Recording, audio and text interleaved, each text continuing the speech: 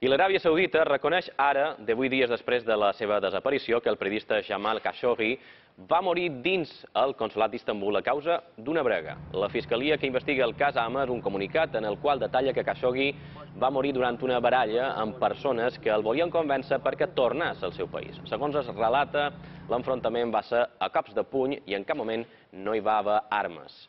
El comunicat no precisa qui va participar en la brega ni on és el cadàver. Malgrat aquestes explicacions, el príncep hereu Mohammed bin Salman segueix com a sospitós d'haver ordenat la tortura i l'assassinat del periodista.